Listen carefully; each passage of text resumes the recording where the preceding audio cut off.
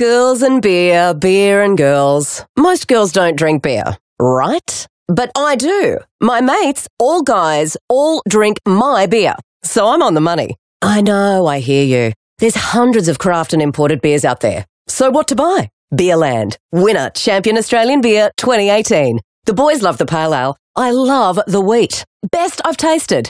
Every guy wants to drink good beer. And so does this girl. That beer is Beerland. Bloody good beer.